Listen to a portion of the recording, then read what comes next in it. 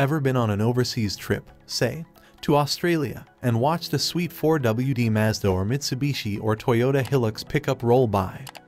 All muddled up and snorkeled, and thought, why the hell can't I get that little truck in the US? Or maybe you dipped your toe into the mid-size pickup market, only to realize the frustration of being stuck with a Toyota Tacoma, Nissan Frontier, or the Chevy Colorado, GMC Canyon Twins. We can buy about 700 different crossovers in the US, but just three mid-sized trucks. What's up with that? And while we're at it, what happened to the tough little compact 4x4s and 2WD pickups of yesteryear? The chicken tax happened, that's what. A bizarre, 50-year-old tariff is why we're mostly stuck with absurdly big full-size trucks in the States. And the Trans-Pacific Partnership trade deal, which the Trump administration just torpedoed, would have put an end to the chicken tax, finally opening the borders to a variety of pint-sized off-road trucks. It's kind of a weird story why, but here we go. Back in the early 1960s, Europeans became highly annoyed by the furious pace at which American poultry farmers churned out and exported chickens. Post-war Europe loved them some chicken but hard as they tried they just couldn't compete with big poultry here in the good old US of there were accusations of impropriety on the international chicken market. Shit got serious. Eventually, France and West Germany slapped a tariff on American chicken.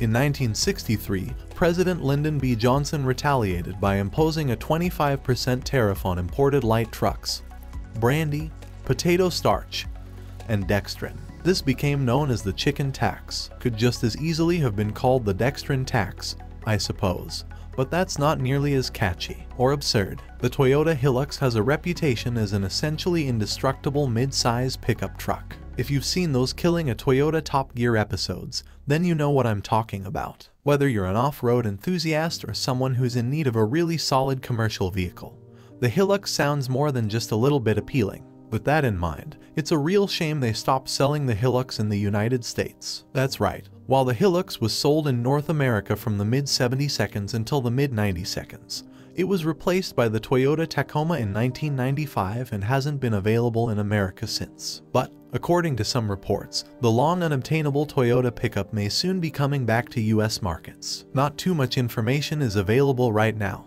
but as AutoWise points out, a Hilux model packing a third-generation Toyota turbo diesel engine may be sold in the USA as early as 2020. As far as horsepower and torque goes, initial reports claim that the engines will offer overall improvements in efficiency and power. Are we getting our hopes up? Not entirely, because you know how this whole initial reports thing can go. That said, it would be extremely cool to see the formidable Hilux for sale in US dealerships this time next year.